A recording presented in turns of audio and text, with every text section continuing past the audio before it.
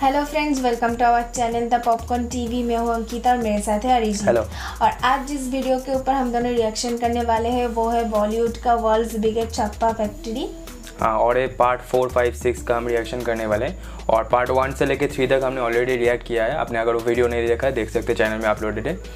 तो इसमें दरअसल जो बॉलीवुड ने जिस तरीके से म्यूज़िक को कॉपी किया है पाकिस्तान से तो उसके बारे में ही दिखाया जाता है वही उसी गाने को ही दिखाया जाता है जो कॉपी गाना होता है। तो चलिए देख लेते हैं। आपको अगर हमारा वीडियोस पसंद आए तो वीडियो को ज़रूर लाइक कीजिएगा। चैनल को सब्सक्राइब कीजिएगा। हाँ और आप लोग हमारा हमारा वीडियोस तो रेगुलरली देखते हो लेकिन ठीक से लाइक नहीं करते तो प्लीज़ लाइक कीजिएगा। लाइक करना बहुत ज़रूरी होता है। तो चलिए वीडियो स्टार्ट कर लेते हैं।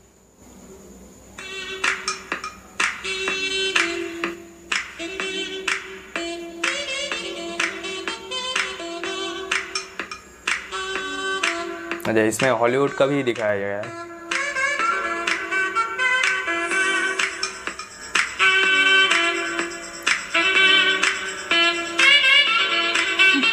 हाँ ये बहुत पॉपुलर एक सीन था ओम शांति ओम का।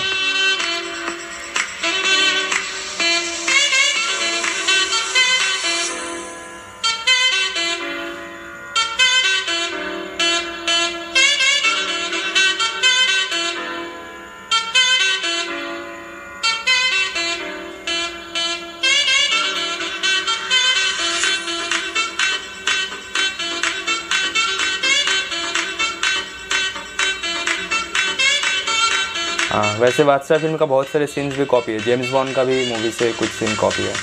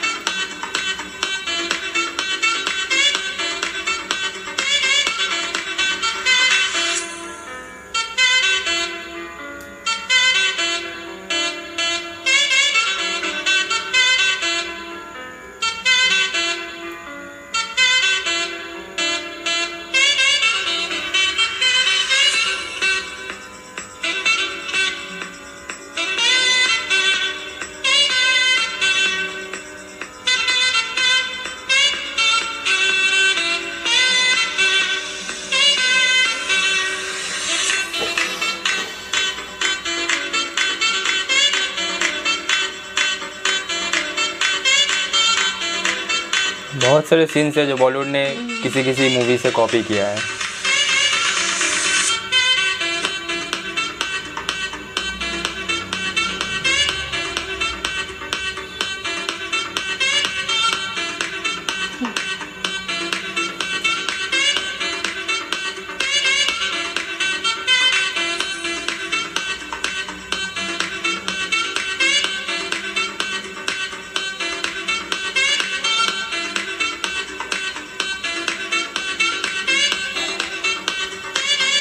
ट्रांसफॉर्मर मूवी का कॉपी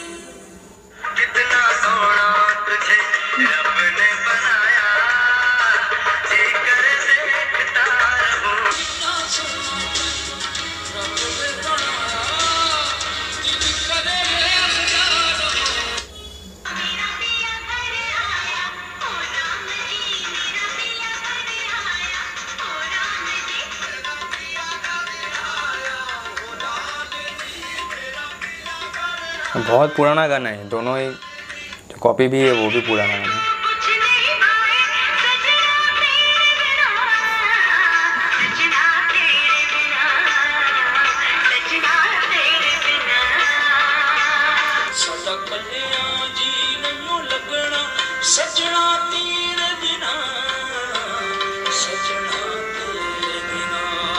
नुसरत फतेह अली का बहुत सारा गाना जो बॉलीवुड में कॉपी हुआ है।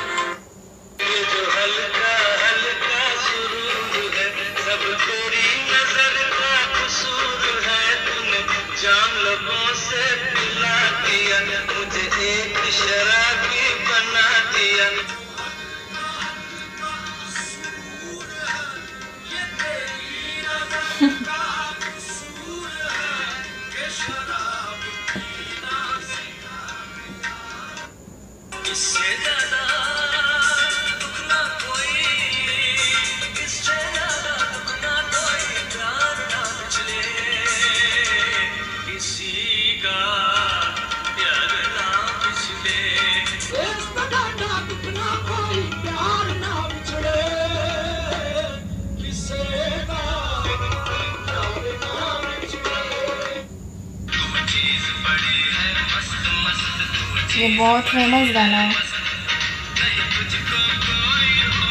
ये कॉपी है। हम्म।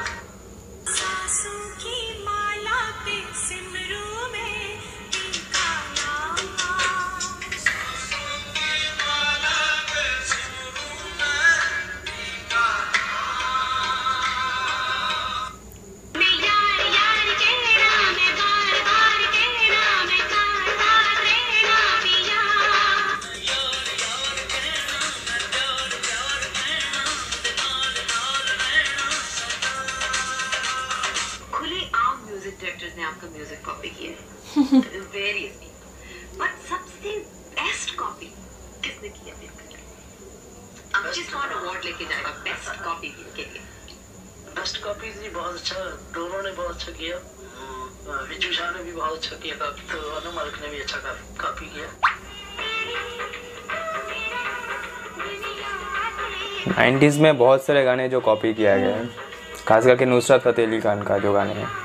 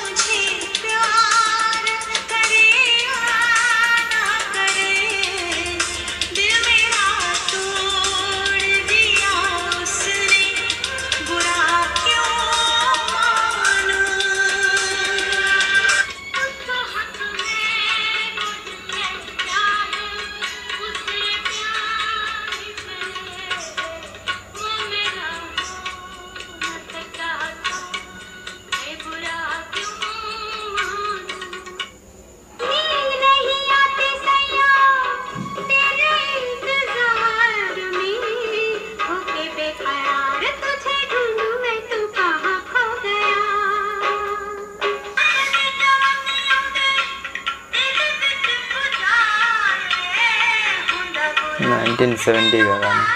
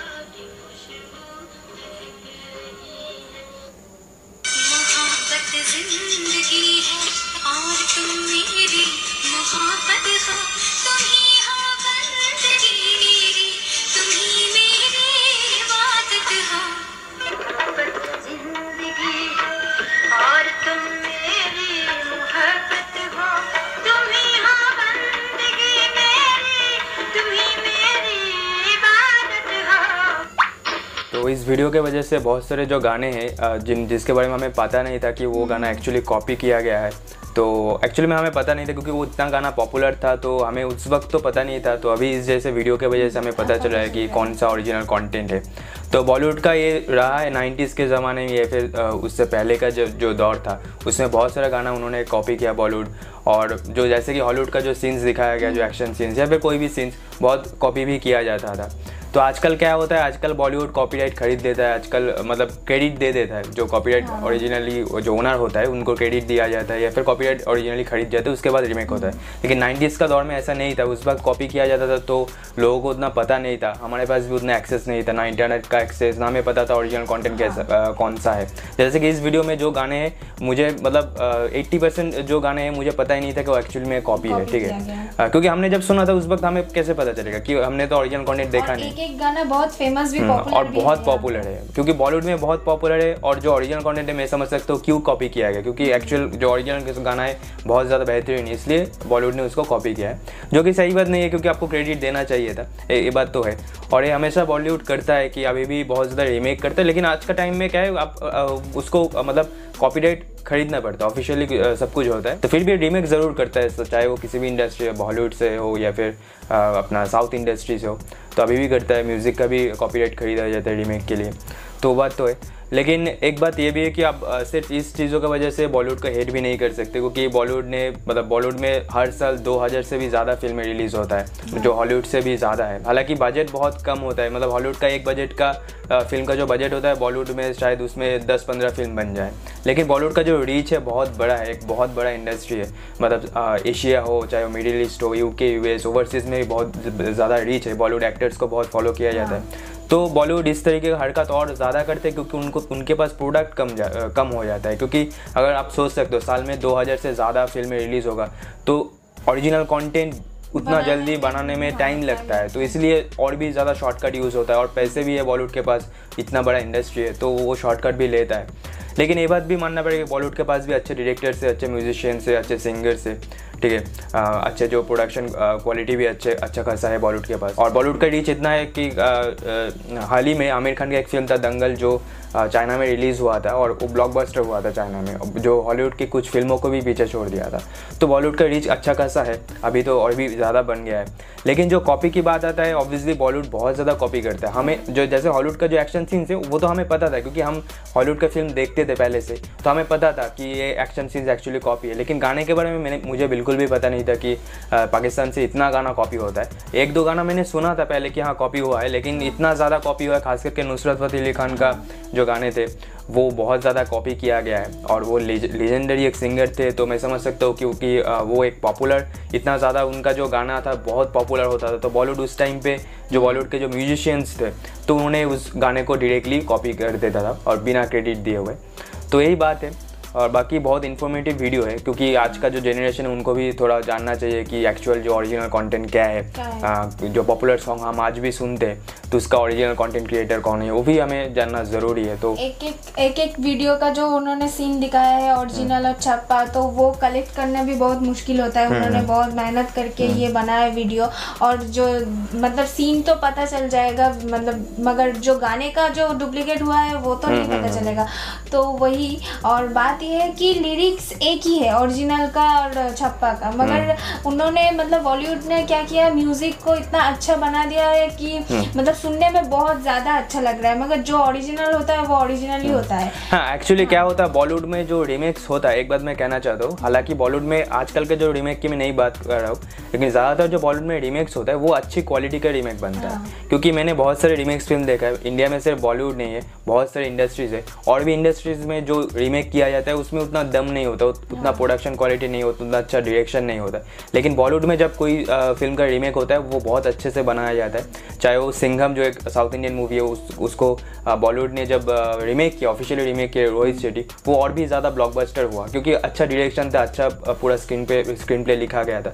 तो ये है कि बॉलीवुड ने अच्छी तरह से कॉपी करके भी अच्छी तरह से उसको क्रिएट किया है जो मतलब जो अल्टीमेट जो प्रोडक्ट है उसको अच्छा बनाया है। तो इसलिए लोग ज़्यादा सुनते हैं ज़्यादा उसका पॉपुलैरिटी और भी ज़्यादा बढ़ जाता है। लेकिन जो ओरिजिनल कंटेंट है मेरे ख्याल से क्रेडिट देना चाहिए था पहले से ही क्योंकि जिनको पता था हमें तो पता नहीं था लेकिन जिनको पता था उनको क्रेडिट ज़रूर देना चाहिए था चाहे वो प्रोडक्शन हाउस हो म्यूज़िक कंपनी हो ले जो बैनर्स हो। नाइन्टीज का गाना कॉपी किया गया है और उनका भी अभी रीमेक रीमेक बन रहा है अभी हम्म, हम्म, जमाने में। मतलब एक कॉपी करके फिर उसका भी कॉपी बना। हाँ हाँ और आज के ज़माने में बॉलीवुड में बहुत ज़्यादा रीमेक होता है। जैसे कि मैं बता रहा हूँ कि बॉलीवुड को आप हेट नहीं कर सकते, क्योंकि सालों से बॉलीवुड इंटरटेन करते आया है लोगों को। और जो हिंदी ब- हिंदी लैंग्वेज का यूज़ करते हैं सारे के सारे बॉलीवुड फ़िल्म देख के बड़े हुए बॉलीवुड स्टार्स को पसंद करते हैं। तो मैं ये नहीं कह सकता कि मैं बॉलीवुड को हेट करता हूँ। लेकिन हाँ जो चीज़ें गलत है, उसके बारे में आपको क्रिटिसाइज ज़रूर करना है। जैसे कि ये बात है कॉपी करने की, जो अनक्रेडिटेड जो चीज़ है, इसके बारे में ज़रूर बात करना चाहिए। क्योंकि लोगों को पता चलना चाहिए कि जो एक्चुअल फैक्ट है, उसके बारे में। क्योंकि हम इंडियन ऑडियंस को उतना पता नहीं था कि पाकिस्तान से इतना ज़्यादा गाना कॉपी होता है। तो क्रेडिट देना ज़रूर चाहिए था। लेकिन आजकल लोगों को लोग पकड़ लेंगे अगर कोई भी बीट अगर कोई कहीं से भी आप मतलब ले लो अपने वीडियोस में यूज़ कर लो तो उसका भी कॉपीराइट क्लेम आ जाता है। आपको कॉपीराइट खरीदना पड़ता है ओनर से या फिर परमिशन लेना पड़ता है। तो आज के ज़माने ऐसा नहीं होता है। और ये वीडियो काफ़ी इन्फॉर्मेटिव था। जैसे इसका जो हमने पार्ट वन से लेकर थ्री किया था हाँ। उसमें भी काफ़ी सारे गाना था जो हमने नहीं सुना था कि वो एक्चुअल ओरिजिनल कॉपी किया। गया है। ये वीडियो कैसा लगा? अगर वीडियो अच्छा लगा तो वीडियो को ज़रूर लाइक कीजिएगा। और चैनल को सब्सक्राइब कीजिएगा। तो चलिए मिलते हैं नेक्स्ट वीडियो में। तब तक के लिए bye bye take care friends ठीक है